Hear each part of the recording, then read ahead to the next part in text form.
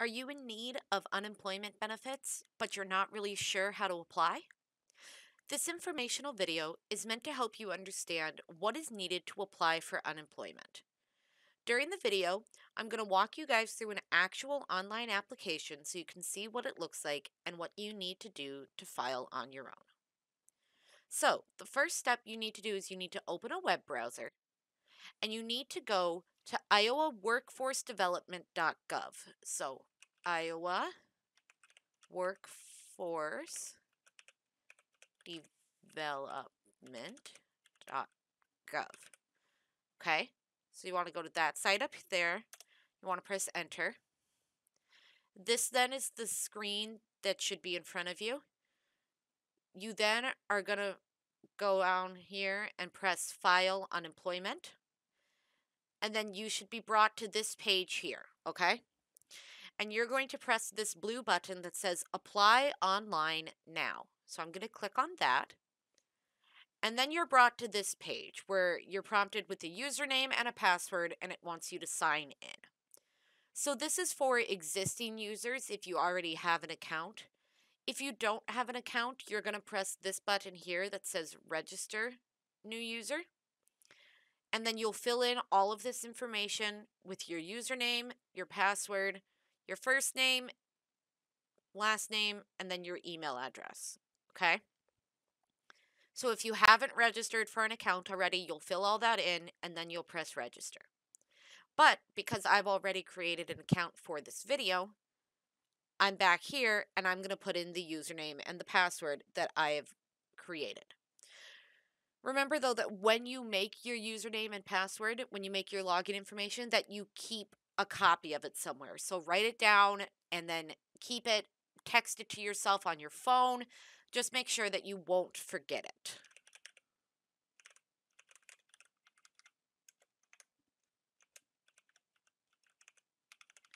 Okay, so that's my login information, and I press that I agree to the terms of use, and I press sign in.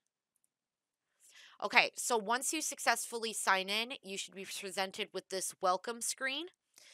And so what you're going to do is you're then going to press I accept.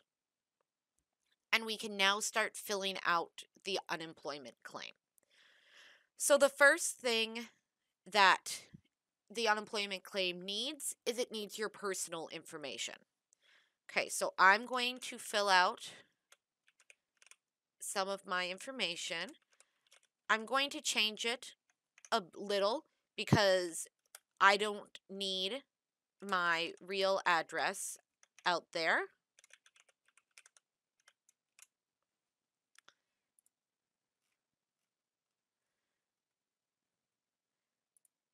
But so this is the type of stuff that you guys should be doing too. You know, you should put your name, your address, your town, your city, and your zip code.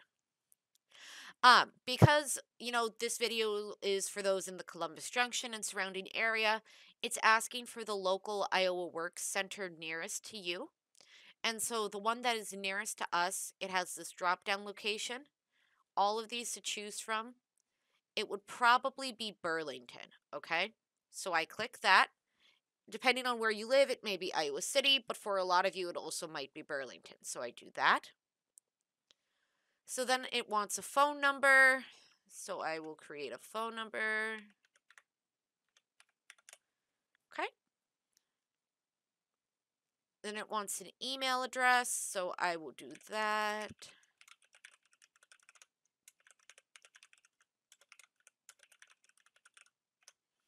Okay, so now it wants your social security number. Um, so I'm putting mine in. Again, none of this is real. Okay, and now it wants your date of birth. So I put my birthday. And then it's going to start asking you different questions. So, have you moved out of Iowa since you last worked in Iowa? So I would put no, I haven't. Or if I have, then I would put yes, but because I haven't, I put no. The highest grade that I've completed in school. So for me, 12th grade is completed high school. I have completed college, so I put 16. Am I a citizen or national of the United States? If yes, you click yes. If not, you click no. Me, I am a citizen, so I put yes. If you say no, however, it will then ask for your A number and it will ask for when your green card expires. Okay? So that is information you need to provide if you're not a citizen. It'll then ask for your gender. So I am a female. It'll then ask specifically if you're Hispanic or Latino. I am not. And then it'll ask for you to select your race. So you find the one that most likely says you, and I am white. So I click that. Once this page is done, you then click next.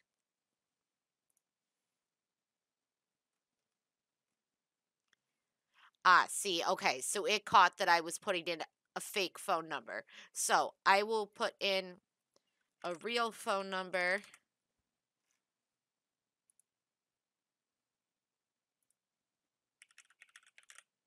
And I'll enter that again.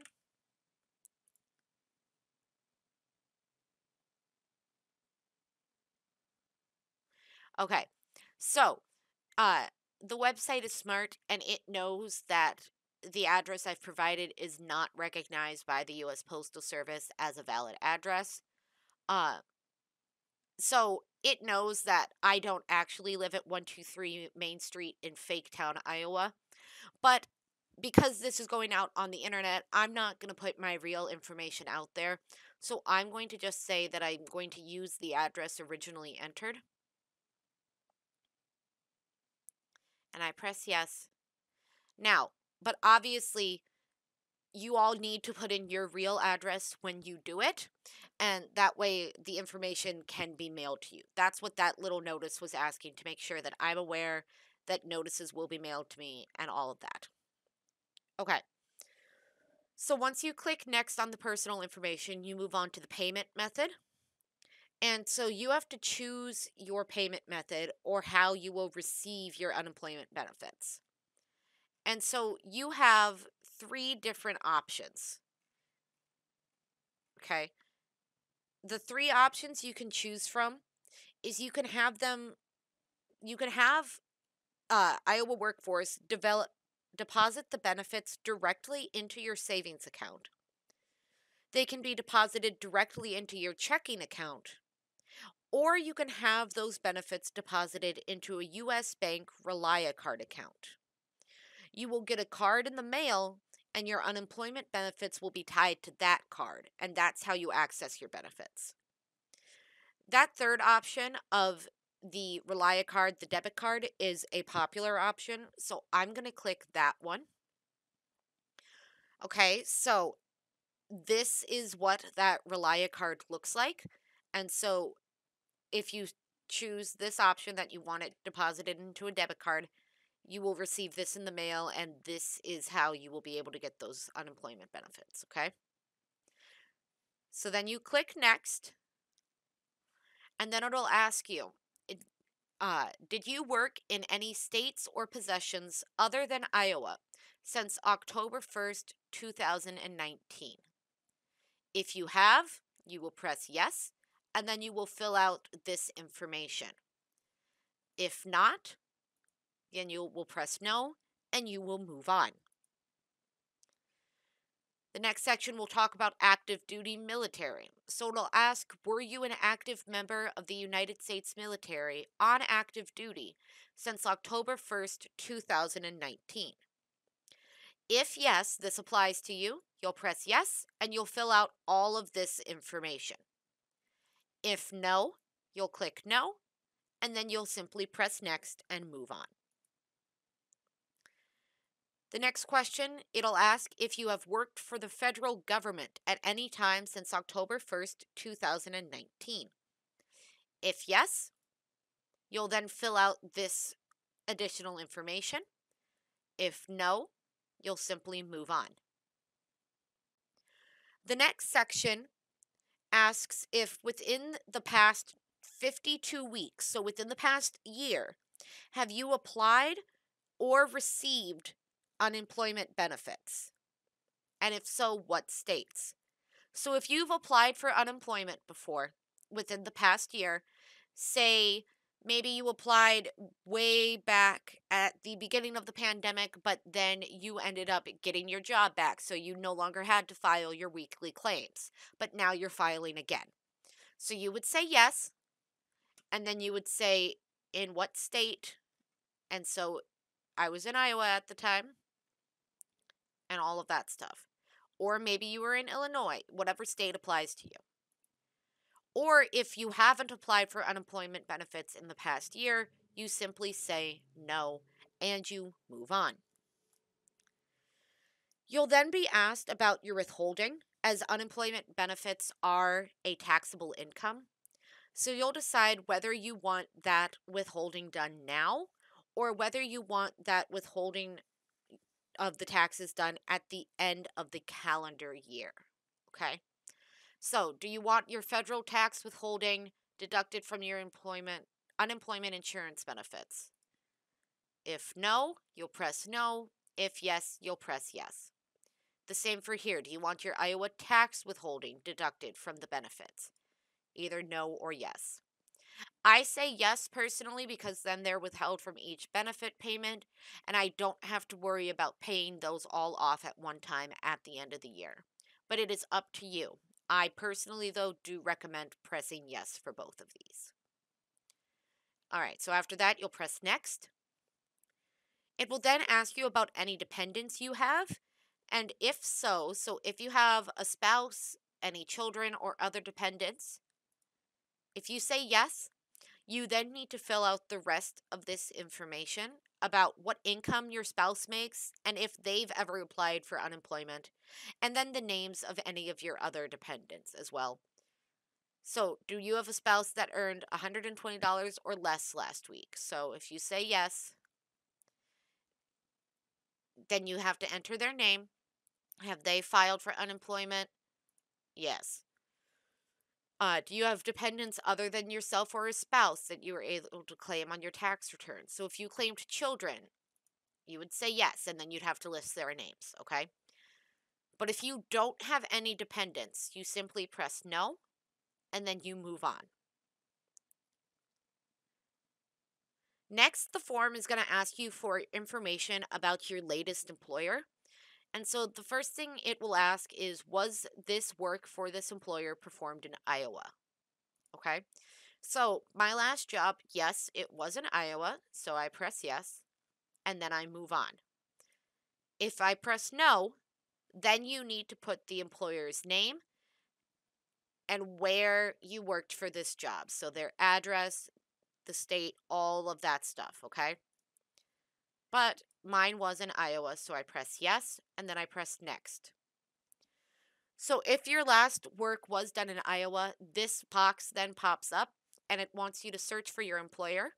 So it wants you to put in your employer's name. So I worked for Casey's General Store and I worked in Wapello.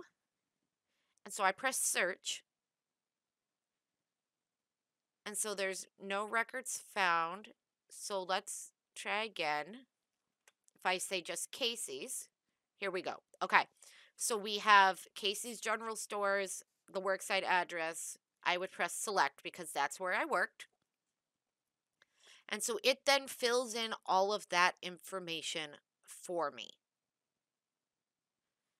Uh, I do, however, still need to put like the employer's phone number, so I will just put, you know, 319 We'll just put my phone number again that I already had to put in because we don't need to be sharing numbers. Uh, I was a register worker. I was, so I press cashier.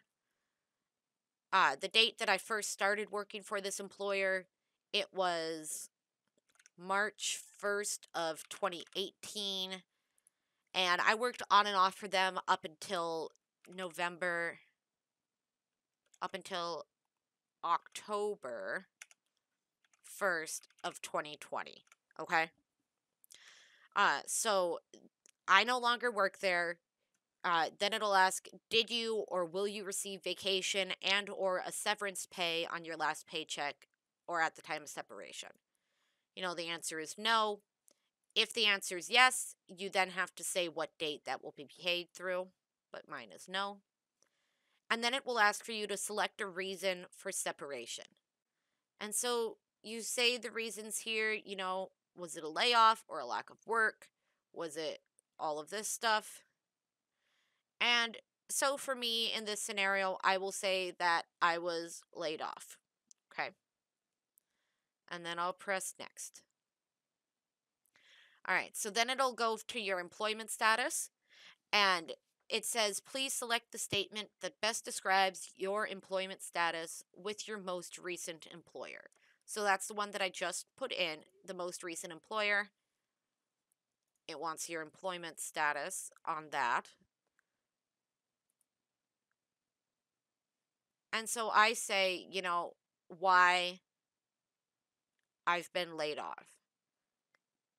And so I can say, you know, I'm filing due to a temporary layoff as a result of COVID 19.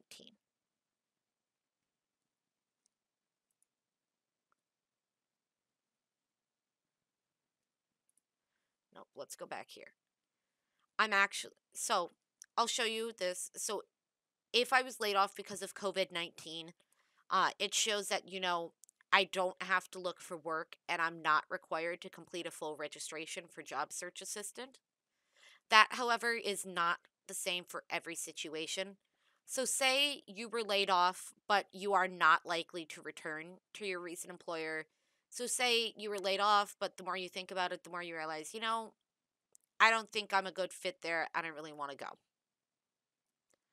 Okay, so if that is the case, you are required to make at least two job contacts each week.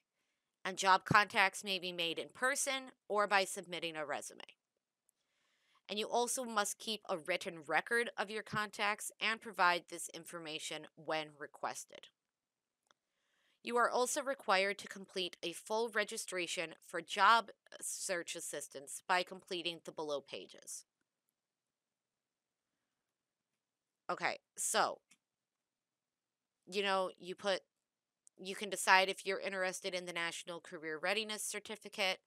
You can decide if you're interested in a registered apprenticeship and all of that stuff. And so this is the tab you use to uh, do work registration. So, you know, your general info, all of that stuff. So, you know, your current employment status, you know, you're not working Am I currently in school? No. All of that. So you fill that out, okay?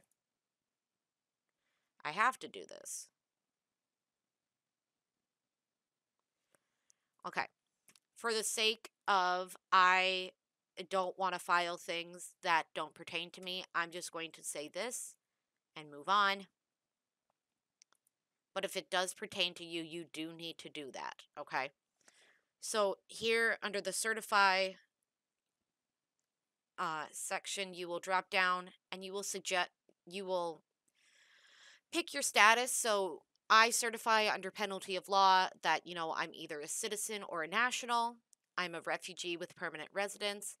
I'm an alien with employment authorized status, or I am not a citizen and I am not claiming satisfactory immigration status. You click whichever one applies to you. And so I'm a citizen, and so I click that. And then I'm also going to check this box right here. And so by checking this box, you certify that you are responsible for reading and knowing the contents of the unemployment insurance. Basically, you're acknowledging that you know what you've put out here and you take responsibility for what it is that you have to do. So then you press next. And so this tab then says the verification process is completed. And so you'll press next to mm-hmm. proceed with the submission process. And so you press next. Okay. So you're then, if you scroll down here, you're presented with a summary of all of the information that you provided. So everything that, you know, I put in, my personal information, my work history, all of that stuff here. Okay. In addition, you're also uh, given a confirmation number and the instructions on how to continue to file the claims weekly because this is just the one claim that you file. You have to file weekly to continue to receive your unemployment benefits. And so that is an important thing to remember. Um, and you get that, your confirmation number and the instructions after you press the submit button.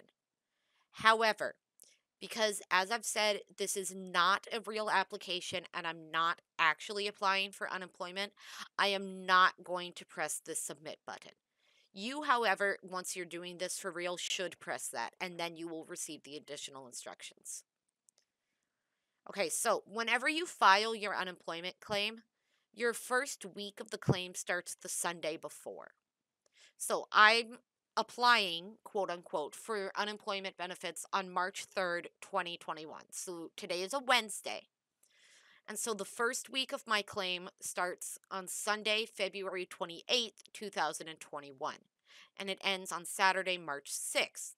So my first week of my claim started last Sunday or three days ago. So what this means is like I filed on a Wednesday. My first week started last Sunday. I can request payment for my first week starting on this coming Sunday. Okay? So I applied today. I can request payment for this first week starting on Sunday the 7th. Okay. And remember that each week you also have to refile your weekly claim so that you continue to get your unemployment benefits. Okay, so that's all that I have for this video. I hope that this has helped you to understand a bit more about unemployment and the filing process. Uh, you know, I'm not an expert when it comes to this, but I tried to do the best I could. If you have any questions still, or you know you're confused or concerned, uh, don't hesitate to reach out. You can either call the Columbus Junction Public Library, or you can stop in at any time during open business hours, and someone will gladly assist you and try to answer any questions you may have. So thanks so much for watching, guys, and I hope applying for unemployment seems a bit easier.